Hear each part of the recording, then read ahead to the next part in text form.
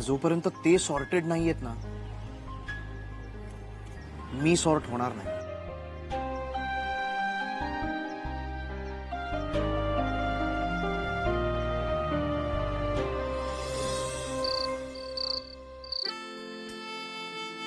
मानस तुला माहितीये आता ना माझं पोट दिसू लागलंय. म्हणजे हळूहळू मोठं होऊ लागलंय. आणि माझ्या या मोठ्या पोटातून ना आपलं बाळ सुद्धा दिसू लागलंय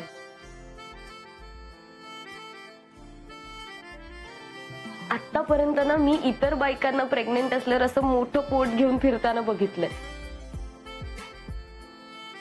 पण आज मी जेव्हा हे सगळे एक्सपिरियन्स करते ना तेव्हा मला ते फिलिंग कळतंय. जाणवतंय.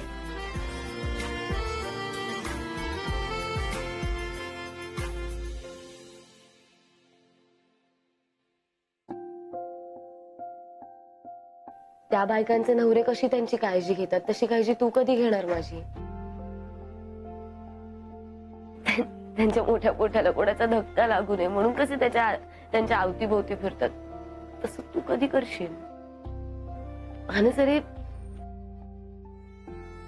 ही प्रेग्नन्सीची फेज मला एन्जॉय करायची आहे तुझ्यासोबत. प्लीज हो ना बरा. मलाही तुझ्यावर असं मोठं पोट घेऊन खाली फिरायला जायचंय. म्हणजे कसं लोकांनी बघितल्यावर ते असं म्हणतील की अरे तो बघ मानस अरे ती बघ वैदे आणि ते बघ त्यांचं बाळ. मलाही ती मुवमेंट हवी आहे. ती मुवमेंट जगायची आहे. देशील ना मला ती मुवमेंट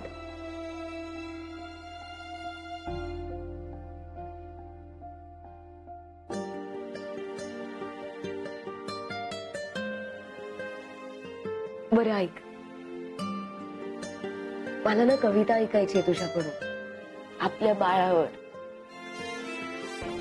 आपलं बाळ सुद्धा विचारतंय की बाबा कधी बरा होणार? कधी माझ्याशी खेळणार? कधी हो ना बरा.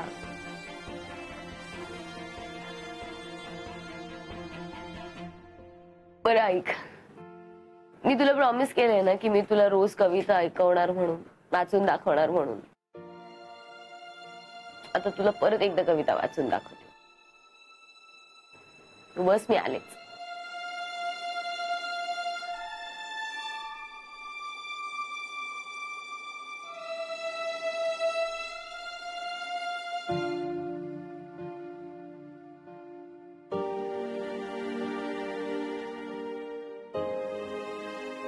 लास्ट टाइम वाली ऐकवते कारण मला माहिती आहे ती तुझी फेवरेट आहे.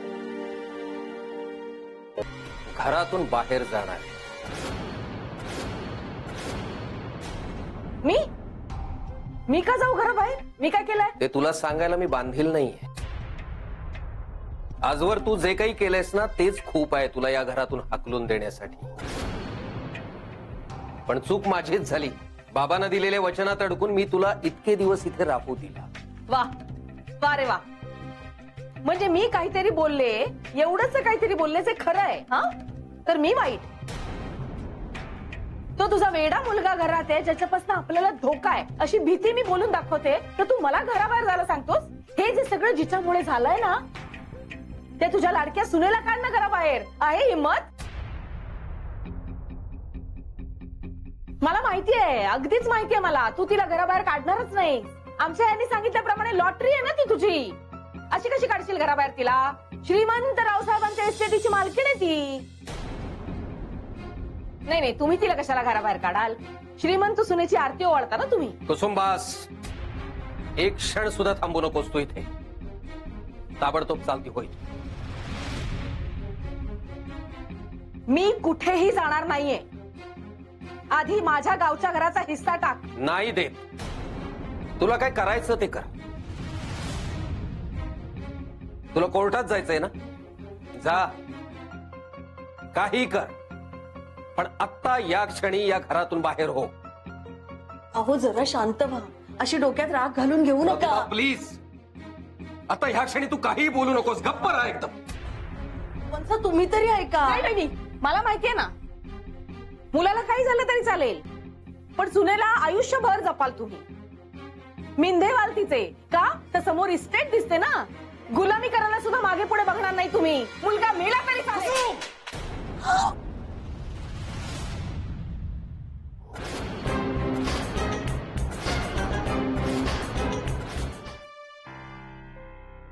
काय झालंय बाबांना? काही नाही ग. बरं आहे आता. बाबा तुम्ही नक्की ओके आहात ना? की डॉक्टरां नको खरंच बरं आहे. बोल. ऍक्च्युली बाबा मी तुम्हाला सॉरी म्हणायला आले होते. कशाबद्दल? मगाशी मी तुमच्यामध्ये बोलले. ऍक्च्युली बाबा आत्या इतकं वाईट बोलून मानसला शिव्या शाप देऊन त्या अशाच निघून गेल्या असताना तर तर ते खूप सोपं झालं असतं त्यांच्यासाठी. त्यापेक्षा मला असं खरंच वाटतं की त्यांनी इथेच राहावं आणि मानसला बरं होताना बरं झालेलं बघावं. आणि मग त्यांनी त्याची माफी मागावी. ठीक आहे. तू म्हणतेस ते बरोबरच आहे. विचाराचा पराभव हा व्यक्तीच्या पराभवापेक्षा महत्त्वाचा आणि मोठा असतो. त्यामुळे तिला मानसची माफी मागायला लागली की तो तिचा मोठा पराभव असेल. नका त्रास करून घेऊ. तुम्ही आराम करा. हो महाराज. नाही आलंय माझ्या लक्षात. म्हणजे त्यांना जी भाषा कळते त्या भाषेत आपल्याला बोलायला हवं. हो. तसंच करीन ठीक आहे.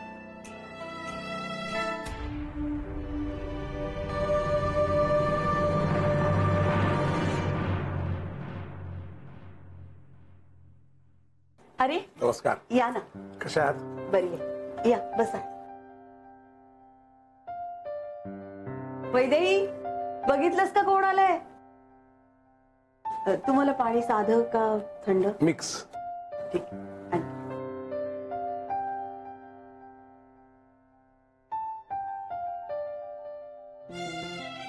वैदू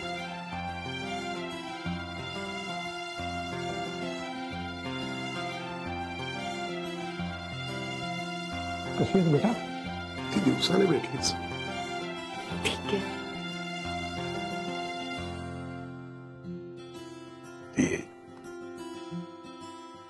तुम्ही कसं आहेत बाबा? मी ठीक आहे. मानस कसा आहे आता बेटा? खूप इम्प्रुव्हमेंट आहे बाबा. सगळी बाप्पाची कृपा. मला कळलं विकुडीकडून. तो देवावर विश्वास बसला ते. बाबा ऍक्च्युली विंदाजोबा म्हणतातच ना. विश्वास किंवा अविश्वास हे अनुभवाचे फळ आहे. माझ्याही बाबतीत अगदी तसंच झालं. पण या सगळ्या मागे कुलदीप आहे हे ऐकून मला फार धक्का बसला वैदू. म्हणजे आपल्या घरातलाच माणूस असं कसं काय वागू शकतो? एक्झॅक्टली बाबा. आणि घरातलाच माणूस असं काही करत असेल तर मग विश्वास कोणावर ठेवायचा हा प्रश्नच आहे. बर वैदू मानस आहे कुठे ग? त्याला कधी बघतो असं झालंय मला. रूममध्ये. या ना. जाऊया? हो. सावकाश सावकाश.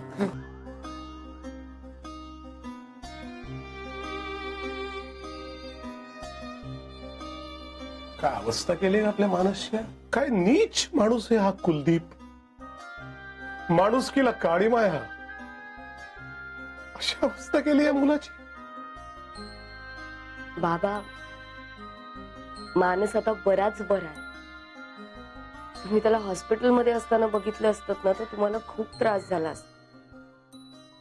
डॉक्टरांनी तर सांगितलं होतं की फक्त फक्त फिफ्टी पर्सेंट चान्स आहे. पण मग त्यानंतर आम्ही त्याला घरी आणलं. तर घरी सुद्धा काहीच इम्प्रूव्हमेंट नाही.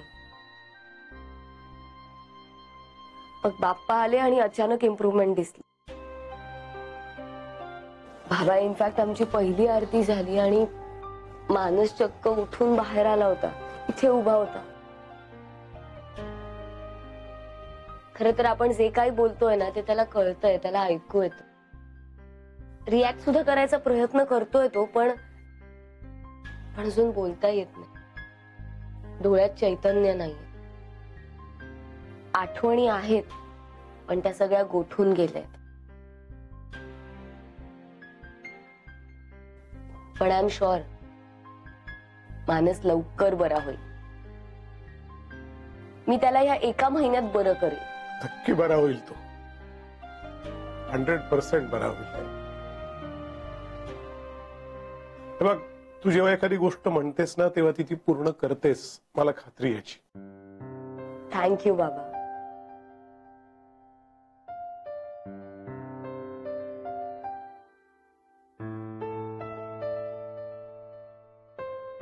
मानस काय गमत आणली माहितीये का?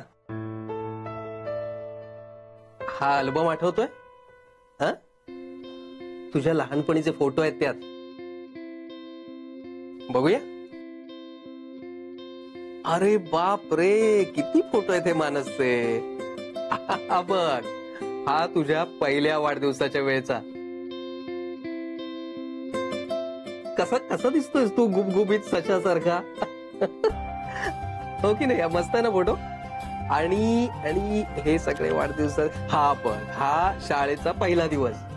युनिफॉर्म घालून तयार एकदम. आठवते का? किती रडला होतास तू? अरे बाप रे. रडून रडून गोंधळ नुसता. बाबा फोटोज हा. मानसच्या लहानपणीचे आहेत ना? हो मानसच्या लहानपणीचे. बघू. हो बघ ना. हा फोटो बघा किती क्यूट आहे. आणि आणि मानस हा कुठला माहितीये का? हा आपल्या गावच्या जत्रेतला. हल्ली फार जाणं होत नाही आमचं पण पूर्वी मानस पाचवीत जाईपर्यंत आम्ही दरवर्षी नित्यनेमाने गावच्या जत्रेला जायचो. काय धमाल होती मानस बघ ना बघ. खूप धमाल यायची अग. जुगाई देवीची यात्रा देऊळ शिट्ट्या फुगे मानस अख्ख्या जत्रेत हुंदडत असायचा नुसता. खूप धमाल. आणि हा हा आठवतोय का रे तुला मानस? गणू आजोबा तुला खांद्यावर घेऊन जायचा जत्रेला? गणू तांबे म्हणून होता. तो मानसला खांद्यावर घेतल्याशिवाय जत्रेला जायचंच नाही. दरवर्षी मानस आला की गणूने खांद्यावर घेतला. मग जत्रेत फिरायचं भेळ खायची चुरपुरे खायचे बत्ताशे खूप धमाल होती.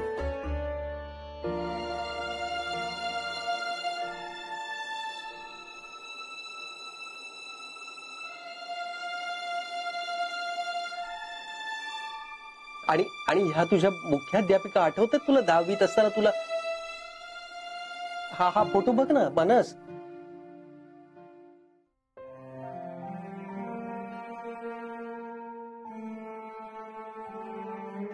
आठवतंय त्याला सगळं. सगळं बरोबर समजतंय पण दाखवत नाहीये रिॲक्ट करत नाहीये.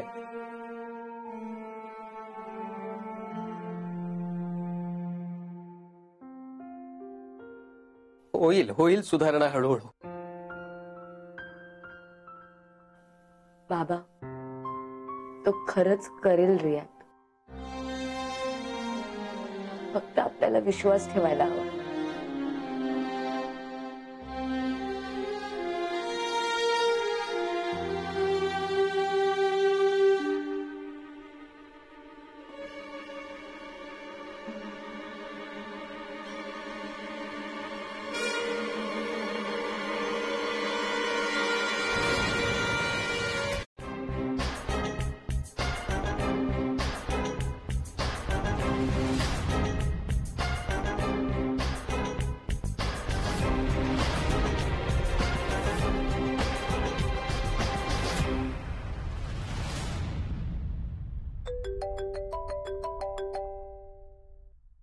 मैडम जी आपका दोस्त आपकी बाइक लेके आपके इरावती में हाजिर है।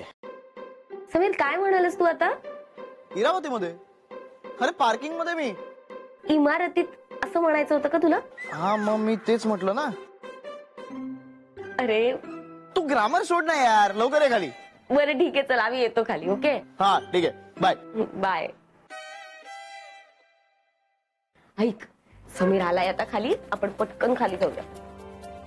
मी सगळं आवडते. दोन मिनिटं. चल, चल पटकन चेंज करूया. चल.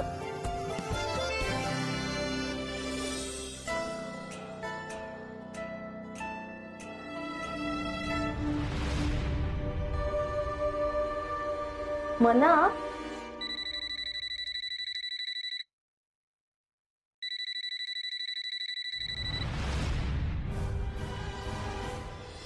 रेडी चल जाऊया समीर वाट बघतो चल हो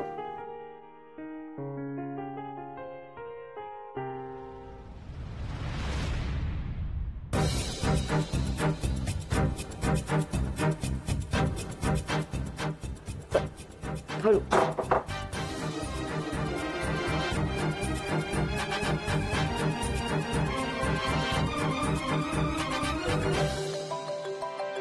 सॉरी सॉरी सॉरी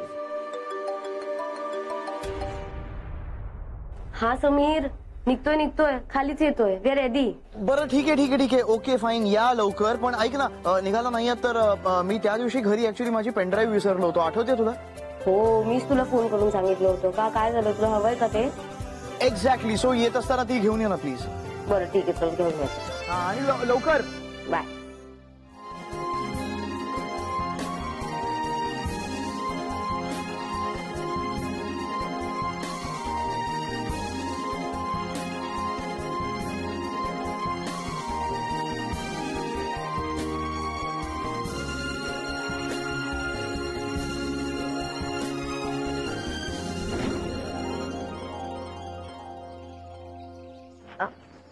Sameer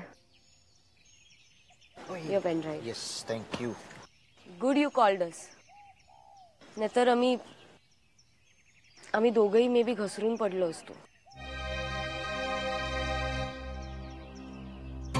घसरून म्हणजे काय? ऍक्च्युली आम्ही निघत होतो आणि तितक्यात तुझा फोन आला की म्हणजे पेनड्राईव्ह हवी आहे म्हणून. आणि आम्ही आतमध्ये आलो. नंतर बाहेर आलो तेव्हा कळलं की रूमच्या बाहेर तेल सांडलं होतं. सो थँक गॉड तुझा फ़ोन आला. मे बी त्या बाप्पाने वाचवलं आम्हाला नाही ऍक्च्युली म्हणूनच मी हा स्टिकर लावला यु नो म्हणजे कसं आहे माहितीये का की देव कुठेही असला ना तरी तो हा असा आपल्यावरती लक्ष ठेवतो. गुड थॉट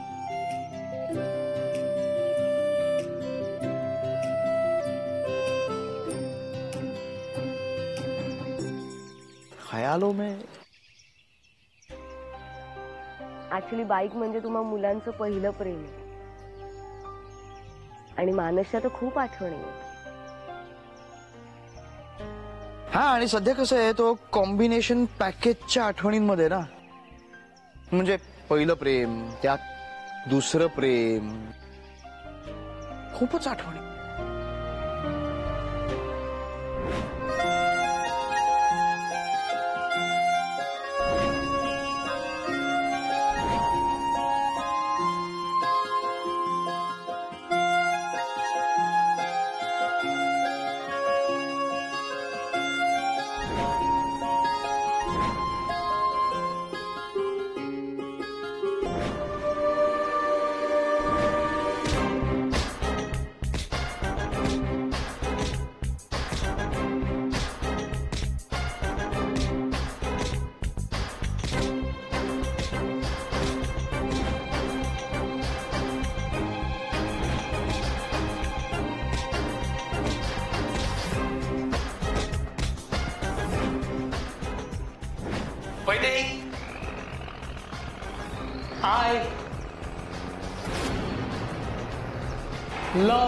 अरे।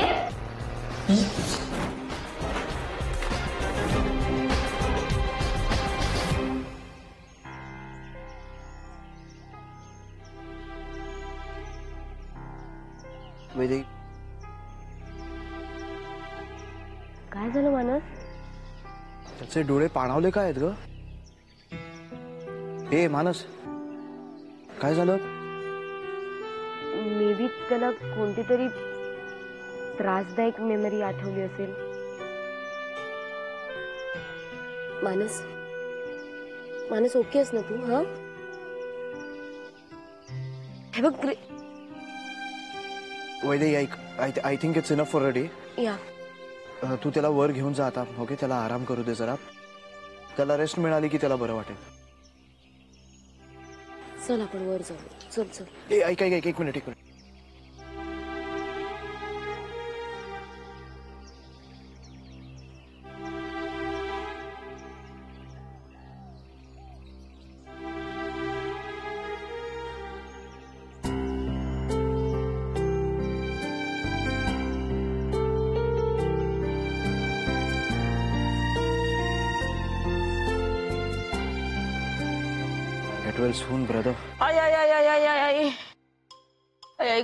माझी कंबर. बाद झालंय मी बाद वहिनी.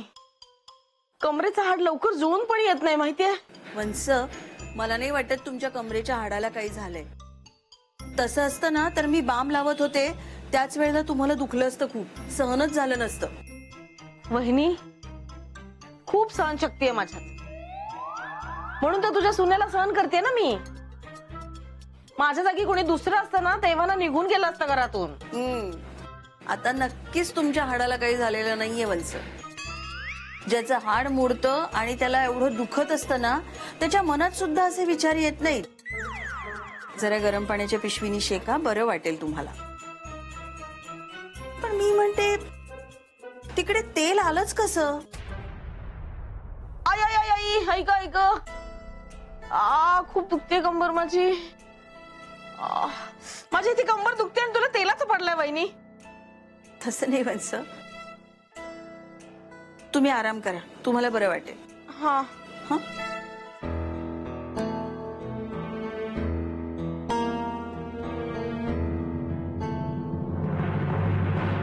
तुझ्या ऍक्सिडेंटच्या दिवसापासून ती तुझी आत्ताची स्टेज आणि तू लवकरात लवकर बरा होशील हा विश्वास. ह्यातनं माझं संपूर्ण आयुष्य जगून झालंय. तू मला कधीच सोडून जाणार नाहीस. लवकर बरा होशील. हा विश्वास होता माझ्या बरोबर. विश्वास आहे माझ्या बरोबर. आणि तुझ्यातल्या इम्प्रुव्हमेंटमुळे ना तो विश्वास खरा ठरतोय.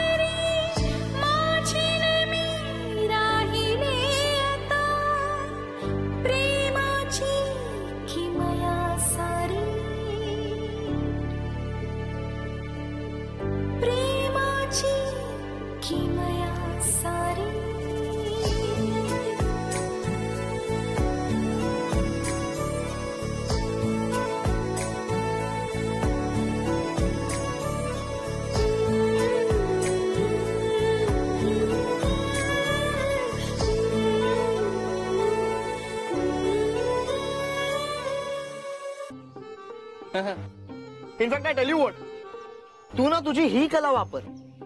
ब्लॉगिंग कर. तुझा वेळ तरी जाईल निदान. अरे ते झालं रिकाम्या वेळेच रिकाम्या खिशाचं काय करायचं? पोट भरायला ना कमवायला नको का काही? हं? पैसे नको?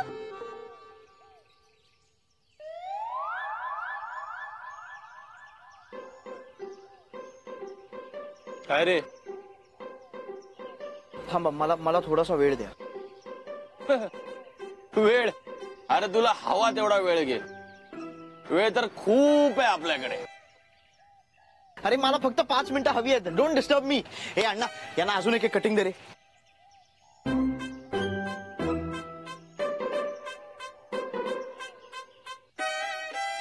का एवढा स्ट्रेस घेतात हे? मला कळतच नाही. किती वेळा सांगितलंय त्यांना? माणसांच्या बोलण्याकडे दुर्लक्ष करा जरा शांत राहत जा. बघितलंस ना आता कसं झालं? मला खूप भीती वाटते ग यांची. आई प्लीज नका टेन्शन घेऊ. काही होणार नाही बाबांना. आणि खरं तर बरं झालं डॉक्टर ओरडले बाबांना. ते आता आता आय एम शुअर बाबा नक्की काळजी घेते आणि ऐकलं ना डॉक्टर काय म्हणाले? डॉक्टर असं म्हणाले की थोडक्यात निभावलं.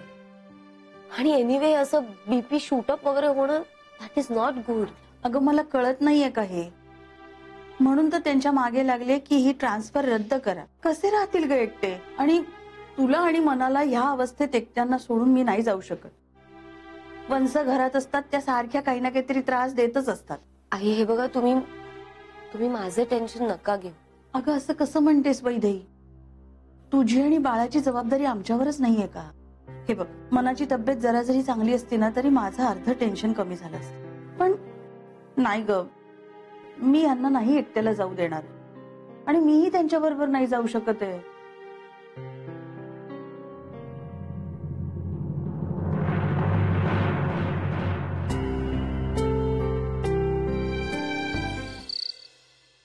अहो आता बरी आहे ना तब्येत?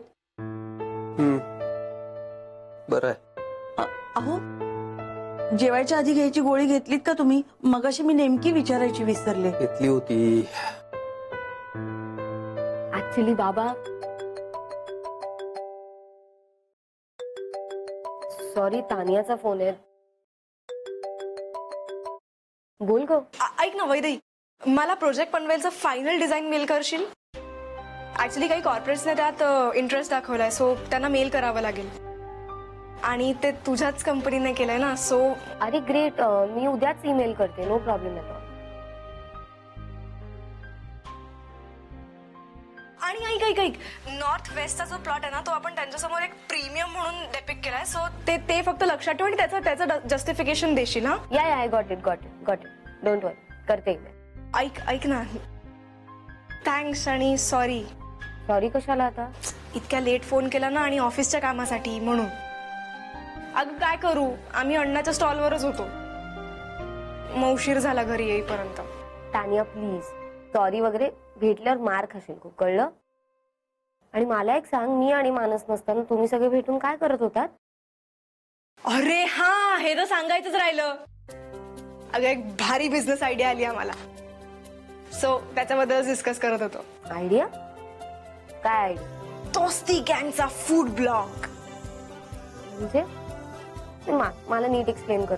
ऐक ना ते असं फोनवर नाही सांगता येणार त्याच्यासाठी भेटावं लागेल ओके भेटून सांगते तुला. पण भारी आहे यार, भन्नाट आयडिया फूड हा आपल्या सगळ्यांचाच वीक पॉइंट आहे आणि त्यावरच बिझनेस म्हणजे हा हा बरं ठीक आहे. मग लवकर भेट आणि लवकर डिटेल्स दे मला. ठीक आहे? आय कांट वेट भेटू भेटू. ऐक ना वैदई मानस कसा आहे? बरा आहे ना? टच वूड मच बेटर मी सुद्धा भेटल्यावर तुला सगळे डिटेल्स देईन ठीक आहे? कूल चल बाय बाय काय ग? काय प्रोग्रेस आहे एवढा? सांग तरी. हो बाबा मी सांगणारच होते तुम्हाला पण म्हटलं आधी तुमची तब्येत कशी आहे हे जाणून घ्यावं. आणि आता पण सांगायला गेले तेवढं तानियाचा फोन आला. सांग आता पटकन. हो हो सांगते सांगते. ऍक्च्युली बाबा मगाशी मी आई आणि मानस इथे बसलो होतो. तेव्हा त्यांनी स्वतःहून रूमकडे बोट दाखवलं आणि सांगितलं की त्याला रूममध्ये जायचं. आई होत्या तिथे. आणि त्याच्यानंतर आम्ही रूममध्ये गेलो. मी काम करत बसले होते. मानस झोपला होता. तो दचकून उठला. ऍक्च्युली तो खूप घाबरला होता. त्याच्या डोळ्यात डोळ्यात भीती दिसली मला. मी त्याला विचारलं काय झालं? तर बाबा त्यांनी त्यांनी डिरेक्टली मिठी मारली मला. बाबा तो खूप तो खूप छान पद्धतीने इमोट करायला लागला. लवकर बरा होणार मानस आता हो ना बाळा?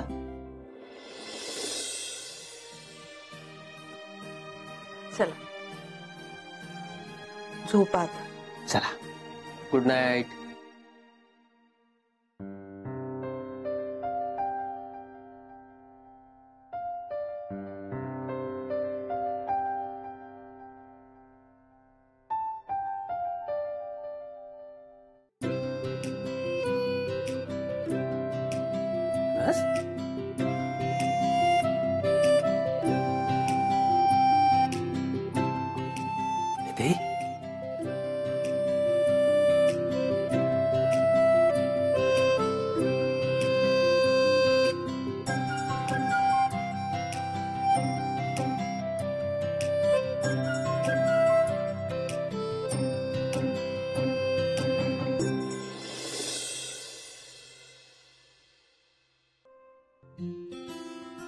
बघितलंस बाबा किती गोड दिसतोय झोपलेला